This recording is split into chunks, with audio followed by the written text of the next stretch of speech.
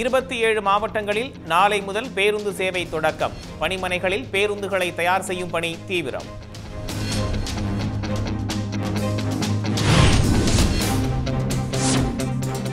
எடப்பாடி பழனிசாமியை முதலமைச்சராக்கியது ஏன்? சசிகலா புதிய விளக்கம்.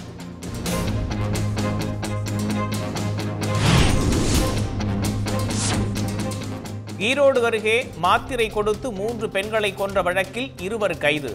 ஆறரை லட்சம் ரூபாய் கடனுக்காக பக்கத்து ஊர்க்காரர் நடத்திய கொடூரம்.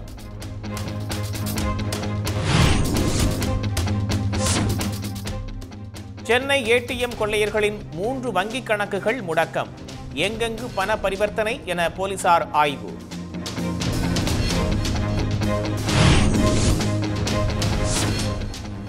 புதுவையில் ரங்கசாமி அரசில் ஐந்து அமைச்சர்கள் பதவியேற்றனர். ஆளுநர் தமிழிசை சவுந்தரராஜன் பதவி பிரமாணம் செய்து வைத்தார். பேணி போற்றுவேன். இந்திய ஒன்றியத்தின் புதுச்சேரி ஆட்சிப் பரப்பின் அமைச்சர் என்ற வகையில் என்னுடைய கடமைகளை உண்மையாகவும் மனச்சான்றின்படியும் ஆற்றுவேன். இந்திய ஒன்றியத்தின் புதுச்சேரி ஆட்சி பரப்பின் அமைச்சர் என்கின்ற வகையில் என்னுடைய கடமைகளை உண்மையாகவும் மனச்சான்றின்படியும் ஆற்றுவேன்.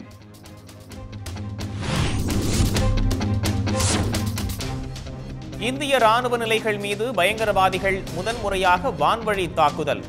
ஜம்மு விமானப்படை தளம் மீது வெடிபொருள் நிரப்பப்பட்ட ஆளில்லா விமானங்கள் மோதியதில் இரண்டு வீரர்கள் காயம்.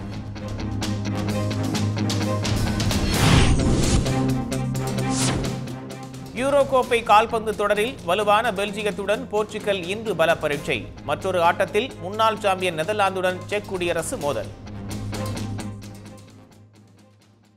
உடனுக்குடன் செய்திகளை தெரிந்து கொள்ள சன் நியூஸ் பெல் ஐக்கான கிளிக் பண்ணுங்க.